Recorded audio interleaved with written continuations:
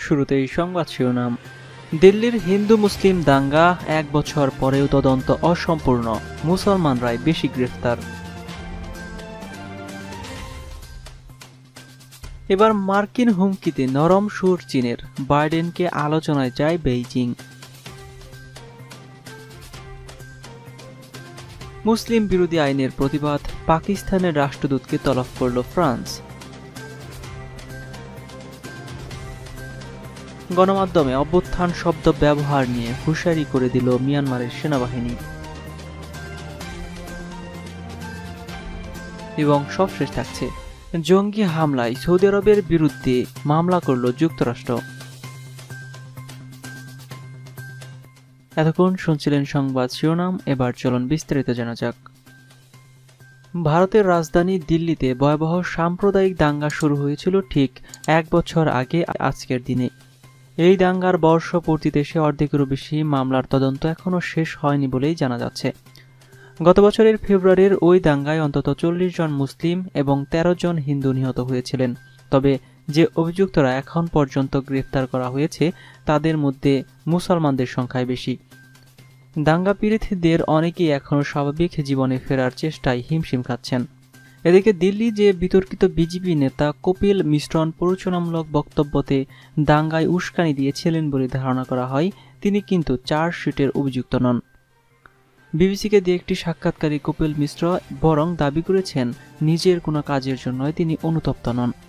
গত বছরের ফেব্রুয়ারিতে নাগরিকত্ব আইনের বিরুদ্ধে প্রতিবাদকে কেন্দ্র করে রাজধানী দিল্লির বিভিন্ন প্রান্তে পরিবেশ উত্তপ্ত হয়ে উঠেছিল।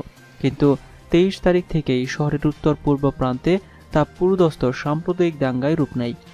তদন্তনাধীন মার্কিন প্রেসিডেন্ট ডোনাল্ড ট্রাম্পের দিল্লিতে পা রাখার কথা তার দেড় দিন বাদেই। প্রায় টানা পাঁচ দিন ধরে চলা এই সহিংসতা। আর দিল্লির বিস্তীর্ণ এলাকার অংশ কার্যত মৃত্যুপুরীর চেহারা নাই। ওই দাঙ্গায় প্রায় এক বছর পরে এসে দিল্লি পুলিশ কিন্তু অর্ধেকেরও বেশি মামলারই তদন্ত শেষ করতে পারেনি।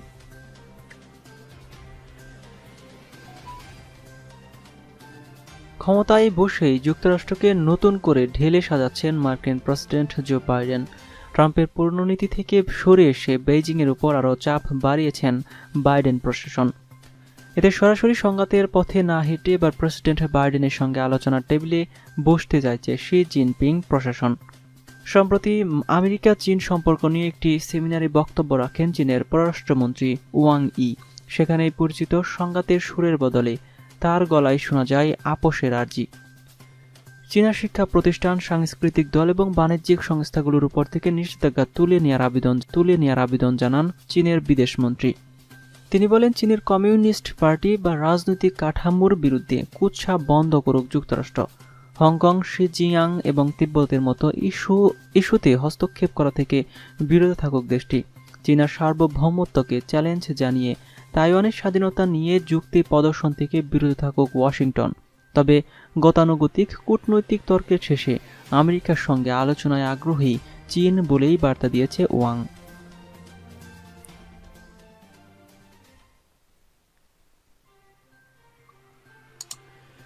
ফ্রান্সে মুসলমানদের কঠোরভাবে দমন করতে নতুন আইন প্রণয়ন করেছে দেশটির কর্তৃপক্ষ। এই আইনের প্রতিবাদ জানিয়েছে পাকিস্তানের রাষ্ট্রপতি আরিফ আলবি। এই ঘটনায় দেশটিতে থাকা পাকিস্তানের রাষ্ট্রদূতকে তলব করেছে ফ্রান্স। এর আগে শনিবার প্রেসিডেন্ট আলবি বলেন, যখন আপনি দেখবেন কিছু আইন বৃহত্তর গোষ্ঠী থেকে কিছু মানুষকে বিচ্ছিন্ন করছে, তখন এটি বিশ্বনবীর সাল্লাহ ইসলামের ব্যঙ্গচিত্র আঁকার বিষয়টি উদাহরণ হিসেবে টেনে তিনি বলেন, যখন আপনি মহানবীকে অপমান করবেন, তখন আপনি সব মুসলমানকেই অপমান করেছেন। এ সময় তিনি ফ্রান্সের রাজনৈতিক নেতাদের ওসব আইন থেকে বেরিয়ে আসার আহ্বান জানান। গত বছরের অক্টোবরের ইসলামের নবী সালিল্লাহ ইসলামেরকে নিয়ে ব্যঙ্গচিত্র প্রকাশ করে ফ্রান্সের এক শিক্ষক। সেই সময় ওই শিক্ষকের পক্ষে অবস্থান নেন ফ্রান্সের প্রেসিডেন্ট ইমানুয়েল ম্যাক্রো। এ সময় অন্যান্য মুসলমান দেশগুলোর মতো পাকিস্তানও প্রতিবাদ জানায়। ফ্রান্সে পাকিস্তানের রাষ্ট্রদূত নেই, তবে সেখানে চার্লস ডিয়াপিয়ার্স রয়েছে। সোমবার ফ্রান্সের পররাষ্ট্র মন্ত্রণালয় জানিয়েছে, সেখানে প্রেসিডেন্ট আলবির বক্তব্যের প্রতিবাদ জানানো হয়েছে। বলা হয়েছে, দেশটিতে তাদের বিলটিতে কোনো বৈষম্য নেই।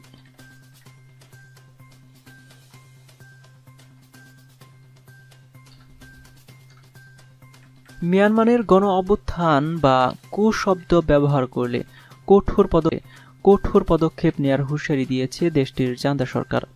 সোমবার বাইশে ফেব্রুয়ারি রাজধানীর নেপিদুতে জান্তা সরকারের মন্ত্রিসভার সদস্যদের সঙ্গে একটি বৈঠকে সেনাপ্রধান মিন অং লাইং বলেন, এখন থেকে যেসব গণমাধ্যম অভ্যুত্থান শব্দ ব্যবহার করবে, তাদের বিরুদ্ধে কঠোর ব্যবস্থা নেবে সরকার। মিয়ানমারের জনগণের স্বার্থেই দেশটির সেনাবাহিনী রাষ্ট্র পরিচালনার দায়িত্ব কাঁধে নিয়েছে বলেও জানান সেনাপ্রধান। এছাড়া দেশের বর্তমান পরিস্থিতি গভীরভাবে পর্যবেক্ষণ করা হচ্ছে বলেও বৈঠকে উল্লেখ করা হয়। উল্লেখ্য, গত একে ফেব্রুয়ারি মিয়ানমারে সামরিক অভ্যুত্থান হয়। আটক করা হয় দেশটির নির্বাচিত নেত্রী অং সাং সুচি সহ দলের শীর্ষ নেতাদের।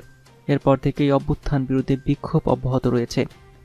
শান্তিপূর্ণ বিক্ষোভ দমাতে অতিরিক্ত সেনা মোতায়েন এবং বল প্রয়োগ করা হচ্ছে।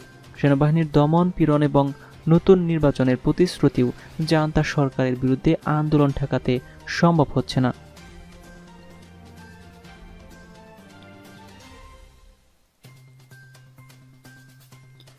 ফ্লোরিডার একটি বিমান ঘাঁটিতে সৌদি বিমান বাহিনীর এক সেনার গুলিতে নিহতদের পরিবারের সদস্যরা সোমবার সৌদি আরবের বিরুদ্ধে মামলা করেছে। তাদের অভিযোগ, ওই মামলার ঘটনায় সৌদি সরকার জানত যে বন্দুকধারীর সঙ্গে আল কায়দার যোগ সাজস ছিল। দু হাজার উনিশ সালের ছয় ডিসেম্বর ওই হামলা হয়েছিল। স্থানটি ছিল নৌ বিমান ঘাঁটি পেন্সেল কোনায় বিদেশি সামরিক বাহিনীর সদস্যদের জন্য একটি প্রশিক্ষণ স্থাপনা। এতে মার্কিন সেনাবাহিনীর তিন সদস্য নিহত হয়েছেন। যুক্তরাষ্ট্রের বিচার মন্ত্রণালয়ের কর্মকর্তারা বলেন, হামলাকারী ছিলেন রাজকীয় সৌদি বিমান বাহিনীর ফ্লাইটের শিক্ষার্থী মোহাম্মদ আল শামরানি। বহু বছর ধরে তিনি এই হামলার ষড়যন্ত্র করেছিলেন। একটি এনক্রিপ্টেড সেলফোনের মাধ্যমে আল কায়দাদের সঙ্গে তার যোগাযোগ হতো। এমনকি তিনি জিহাদি মতবাদের কথাও প্রচার করেছিলেন। ঘটনাস্থলে আল সামরানিকেও গুলি করে হত্যা করা হয়। হামলার আগের দিনও তিনি আল কায়দাদের সঙ্গে যোগাযোগ করেন।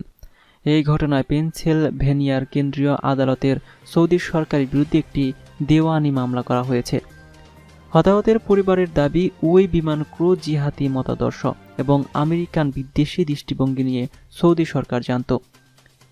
মামলায় বলা হয়, সৌদি বিমান বাহিনীতে আল শামরানিন চাকরিকালে সামাজিক যোগাযোগ মাধ্যমে নিয়মিত উগ্রপন্থী মতাদর্শক পোস্ট দিত, যার মাধ্যমে আমেরিকা এবং ইহুদি বিদ্বেষও থাকত। অন্যদের ব্যাপারে উৎসাহিত করতেন তিনি। আজকের মতো পর্যন্তই ছিল। ভিডিওটি সম্পর্কে আপনাদের মতামত অবশ্যই কমেন্ট বক্সে কমেন্ট করে জানাবেন। বিশ্বের সর্বশেষ নিউজ সবার আগে দেখতে মধ্যে চ্যানেলটি সাবস্ক্রাইব করে পাশে থাকা বেল আইকনটিতে ক্লিক করে রাখুন। এতক্ষণ সাথে থাকার জন্য ধন্যবাদ সবাইকে।